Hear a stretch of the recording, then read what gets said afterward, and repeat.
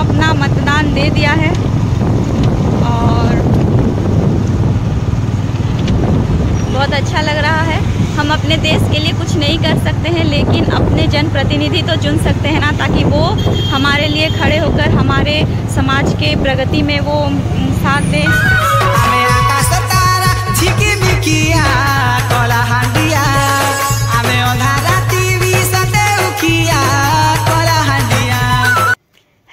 Everyone सभी बड़ों को मेरे सादर प्रणाम, छोटों को बहुत बहुत आदर के साथ आप सबको स्वागत करती हूँ अपने वीडियो में। उम्मीद करती हूँ आप सभी लोग अच्छे होंगे। तो आज है तेईस में साधारण निर्वाचन जनरल इलेक्शन है आज। एमपी और एमएलए कैंडिडेट को आज मतदान करके हम चयन करने वाले हैं।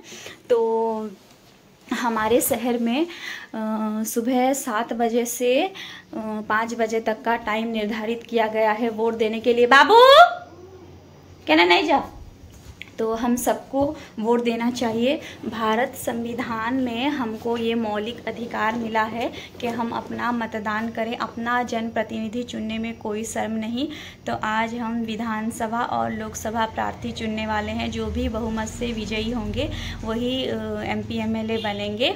तो पहले हमारे देश में राजतंत्र चलता था। राजतंत्र के हिसाब से शासन होता था, यानी राजा, महाराजा शासन करते थे और फिर मुग़ल आए, वो कब्ज़ा किए, वो कुछ साल शासन किए, उसके बाद अंग्रेज़ आए, वो कब्ज़ा किए, वो कुछ साल शासन किए और फिर जब फाइनली हमारा देश आज़ाद हुआ, बहुत सारे वीरों ने बलिदान दिया है, यूँ ही आज़ादी नहीं मिला है तो जब वो हमारे देश को आज़ाद करवाए ना तो फाइनली जब 1947 में हमारा देश आज़ाद होता है, फिर 1915 में जब संविधान इंट्रोड्यूस किया जाता है तो तय किया जाता है कि हमारे देश में अभी राजतंत्र नहीं चलेगा। हमारे देश में प्रजातंत्र के हिसाब से शासन होगा।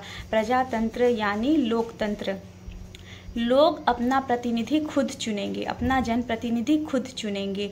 इसलिए हमारे देश में काउंसलर से लेकर प्रधानमंत्री तक सब लोग चुनते हैं। इलेक्शन होता है, निर्वाचन होता है, लोग अपने जनप्रतिनिधि को वोट देकर चुनते हैं और वही हमारे शासन व्यवस्था में मुख्य भूमिका निभाते हैं। इस हिसाब से हमारे देश में शासन होता है। तो हमारे स्वाधीन भारत के पहले प्रधानमंत्री थे जवाहरलाल नेहरू, पंडित जवाहरलाल नेहरू। उनके बाद गुलजारी लाल नंदा। उनके बाद आए लाल बहादुर शास्त्री, उनके बाद फिर से गुलजारी लाल नंदा और फिर इंदिरा गांधी और अभी हाल ही में हमारे प्रधानमंत्री हैं श्री नरेंद्र मोदी। उनसे पहले मनमोहन सिंह प्रधानमंत्री थे और उनसे पहले अटल बिहारी वाजपेयी प्रधानमंत्री थे और हमारे सीएम हैं अभी मान्यवर मुख्यमंत्री नवीन पटनायक। तो हमारे देश के जो भी शासन व्यवस्था में जो भी मुख्य भूमिका निभाते हैं, सभी लोगों के द्वारा चयन किए गए, लोगों के द्वारा निर्वाचित हुए प्रतिनिधि ही शासन करते हैं। तो हम सबको वोट देना चाहिए।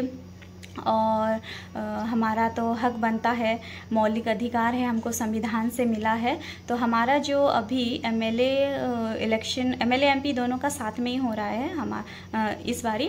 तो जो एमएलए सीट है हमारे प्रदेश में हमारे राज्य में 147 मतलब एक सीट हैं जिनमें से 33 सीट रिजर्वेशन है एसटी के लिए और 24 सीट रिजर्वेशन है एससी के लिए बाकी जनरल लोगों के लिए। तो इस हिसाब से अ, हमारा शासन व्यवस्था चलता है और जो स्वाधीन भारत है हमारे डेमोक्रेटिक कंट्री का जो मेन एजेंडा है वो है अ,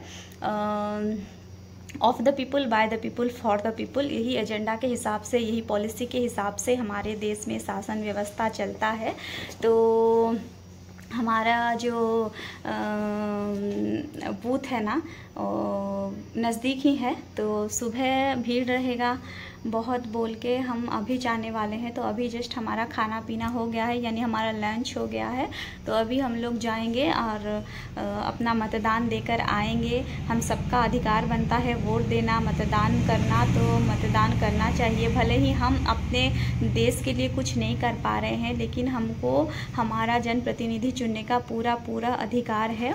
तो बहुत सारी पार्टियाँ इलेक्शन में खड़े होते हैं, वहाँ पे, वहाँ से जो भी बहुमत बहुमत बहुमत से जीतते हैं ना वही प्रार्थी जाते हैं एमपी एमएलए के लिए।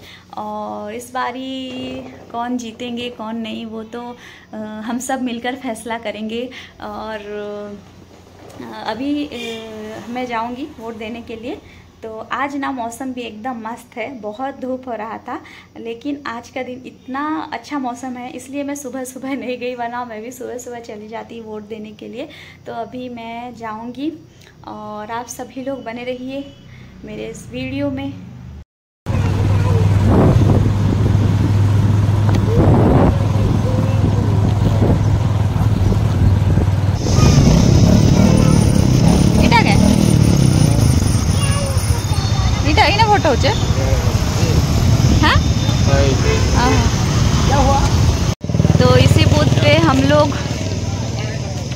अपना मतदान देंगे, लोकसभा एवं विधानसभा निर्वाचन 2024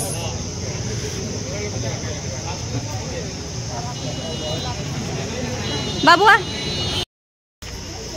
तो मैं पहुँच गई हूँ अभी यहाँ पे। इटा देखा बेटा। हाँ? तो मैं अभी एंटर कर चुकी हूँ अंदर। अभी तो बूथ खाली खाली है, एकदम। शायद सभी लोग जा चुके हैं। और आप देखिए नज़ारा, हमारे बूथ का तो खाली खाली है ये। और कोई भी नहीं दिख रहे हैं, खाली खाली है हर जगह। दीदी, फ़ोन नहीं? हाँ ठीक है हाँ ठीक। तो मैं जा रही हूँ अभी मतदान करने के लिए और फ़ोन अलाउ नहीं है वहाँ पे अंदर। तो मना कर रहे हैं यहाँ पे जो भी प्रशासन पुलिस प्रशासन यहाँ पे तैनात है ना वो मना कर रहे हैं फ़ोन लेकर अंदर जाने के लिए। तो उनकी बात तो मानना पड़ेगा। तो मैं जा रही हूँ अभी मतदान करने के लिए। और आप सभी लोग बने रहिए हमारे वीडियो में। A few moments later. तो अभी हम लोग घर पहुँच गए हैं अपना मतदान देकर। और तो मेरा मानना यह है दोस्तों, राजनीति कभी भी स्वच्छ और निर्मल नहीं होती है। कभी भी स्वच्छ और निर्मल नहीं होती है। अपने अपने पार्टियों को जिताने के लिए राजनीतिक दल एजेंडा सेट करके रखते हैं। जैसे राजतंत्र में होता था ना राजा महाराजा जब शासन करते थे तो युद्ध में जाते थे किसी प्रदेश को जीतने के लिए तो वो रणनीति का इस्तेमाल करते थे। और उनका रणनीति गुप्त होता था। वो युद्ध में वो जब जाते थे ना युद्ध करते थे तभी वो रणनीति अपनाते थे युद्ध कौशल अपनाते थे और विजय करते थे। वैसे ही राजनीति में भी कूटनीति होता है, जिसको हम डिप्लोमेसी कहते हैं, जो हमने पढ़ा भी है। जब हम पढ़ाई करते थे पॉलिटिकल साइंस जब हम पढ़ते थे, उसमें हमको पढ़ाया भी जाता था कि राजनीति में भी डिप्लोमेसी होती है और उनके हिसाब से उनका कुछ एजेंडा रहता है। तो मैं ये बोलना चाहती हूँ कि भले ही राजनीति स्वच्छ और निर्मल ना हो राजनीतिक दल अपने अपने दल को जिताने के लिए जो भी एजेंडा अपनाए, कोई बात नहीं। लेकिन हमें, हमारा व्यक्तिगत स्वार्थ को छोड़कर अपने प्रदेश के, अपने देश के हित में, प्रदेश का और देश के स्वार्थ के बारे में सोचकर ही मतदान करना चाहिए। क्योंकि कई बार ऐसा होता है कि हम, हमें कैंडिडेट अच्छा नहीं मिलता है। मतलब हम उस पार्टी को तो समर्थन करते हैं, लेकिन कैंडिडेट हमको अच्छा नहीं लगता है। तो हमें उस जगह पे व्यक्तिगत स्वार्थ को छोड़कर कैंडिडेट के साथ रिश्ता जैसा भी हो, वो छोड़कर भी पार्टी अगर अच्छी है अच्छा काम कर रही है ना तो उनको वोट देना चाहिए। इसलिए मैं बोल रही हूँ कि व्यक्तिगत स्वार्थ को छोड़कर हमें देश के स्वार्थ के बारे में, अपने प्रदेश के स्वार्थ के बारे में सोचना चाहिए और उसी हिसाब से ही हमें मतदान करना चाहिए। तो मैंने तो अपना वोट दे दिया है। बहुत कीमती है, देखिए। हम सबका वोट बहुत कीमती है। आज हम अपने जनप्रतिनिधि को चुनने जा रहे हैं विधानसभा और लोकसभा के लिए। भले ही हम हमारे देश के लिए कुछ नहीं कर पा रहे हैं, लेकिन हम अपने प्रतिनिधि को चुनकर हमारे जो प्रॉब्लम्स हैं, हमारे सोसाइटी के जो प्रॉब्लम्स हैं, उस, उसको समाधान करने के लिए ज़रिया ढूंढ रहे हैं, ये ज़रिया बना रहे हैं हम, ताकि वो हमारे अंचल का उन्नति करें, हमारे समाज का उन्नति करें, युवा पीढ़ियों का उन्नति करें, हमारे एजुकेशन सिस्टम का उन्नति करें, सब, सबका उन्नति हो पाए बोलकर हाँ बहुत ज़रूरी है मतदान करना। तो मैंने तो अपना कीमती वोट डाल दिया है और जो अभी इस बारी बहुत वायरल हो रहा है न्यूज़ सब के हम प्रेस कुछ और करते हैं और वोट किसी और को जा रहा है ऐसा बहुत। तो हमारे बूथ में तो ऐसा कोई भी प्रॉब्लम फेस नहीं हुआ। मैंने जिस बटन पे आ, मतलब जिसको वोट दिया उस उसका ही पर्चा नज़र आया। मतलब हम वोट देते हैं और इधर सिंबल सब होता है एक जगह सिंबल सब होता है और दूसरी जगह बटन्स होते हैं ना और तीसरी जगह पे ट्रांसपेरेंट एक दिख रहा है कि आप जिसको वोट दे रहे हैं ना उनका जो सिंबल है वो दिख रहा है। तो मैंने जिस सिंबल के पास अपना आ, मतदान दिया वही सिंबल मुझको दिखाई दिया यानी मशीन में कोई भी भूल चूक नहीं था ठीक ठाक था और बहुत ही अच्छे से हो रहा है मतदान वहाँ पे। हमारे यहाँ तो ठंडाई भी दिया जा रहा है, पानी वानी, कोल्ड ड्रिंक्स वगैरह दिया जा रहा है। धूप में लोग परेशान ना हो बोलकर, और ऐसे जो तंबू वंबू गाड़ कर भी लोगों के लिए व्यवस्था की गई है, अच्छी व्यवस्था है।